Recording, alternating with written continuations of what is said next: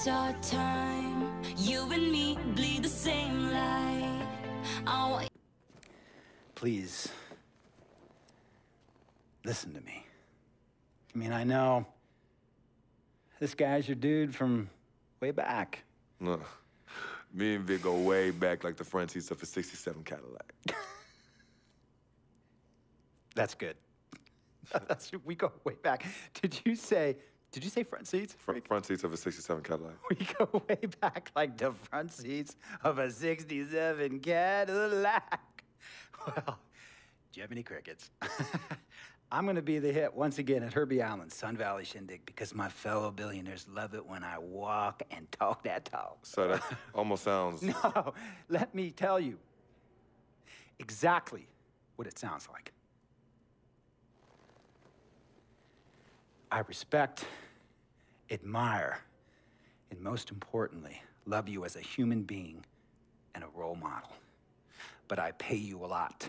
And I mean, I pay you a lot of money to play for my team. And I am in this game to win it. And you can't win it with an albatross around your neck like Vic. So Vic is done. History.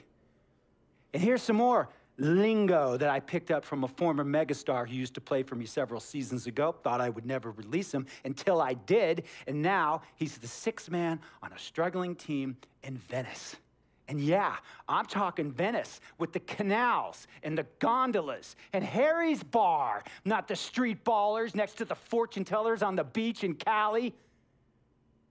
This guy used to tell me when he thought there was a player destroying our team don't be a hero, cut that zero. And that is what I am telling you about Vic, freak. Don't be a hero, cut that zero. The only thing Vic brings into your life is headache and unwanted and unnecessary negative attention.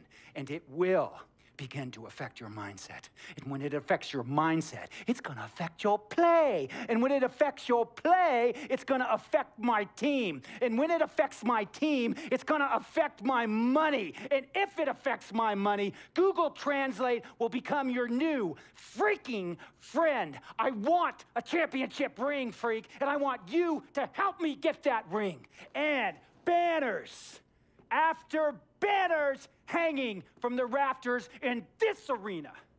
So, freak, hear me clearly and hear me good.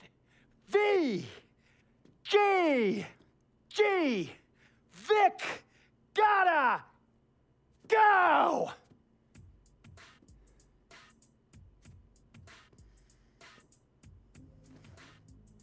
Handle business. And remember, that contract you signed contains a morality clause, a very important clause that revolves around your conduct on and off the court and how it can negatively impact my team. Now, I don't want you to have to learn Italian or Croatian as a second language. And hey, playing pro ball overseas, there's nothing wrong with that. But the arenas are nothing like this, nor will the money be the same. And on top of all of that, this is the US of A, the greatest freaking country in the world. Ask yourself, is Vic worth all that? Think about it. Think long, think wrong. In at shooting guard. Nene is out there with Markieff Morris. Then there's Ramon Sessions. And it's Porter in at the small forward. That's the five on the floor for the Wizards.